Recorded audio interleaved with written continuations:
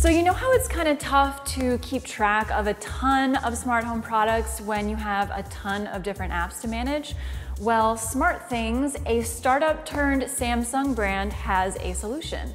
A $99 second generation hub that has Zigbee, Z-Wave, as well as an IFTTT channel and a ton of in-app alerts and customizations. SmartThings 2.0 also adds some new product integrations, including Belkin Wemo products, Amazon Echo, and more.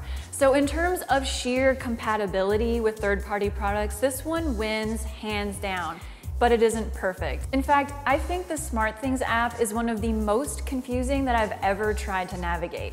It looks all right at a glance, but actually finding the stuff you need is way more complicated than it should be. If you're just looking to ease into the whole smart home thing, I would actually recommend skipping hubs altogether. But if you're sold on the whole smart home thing, I do think SmartThings is a solid bet if you can get past all of that app wonkiness. Here at the CNET Smart Home, I'm Megan Wollerton for CNET Appliances. Be sure to check out my full review on cnet.com.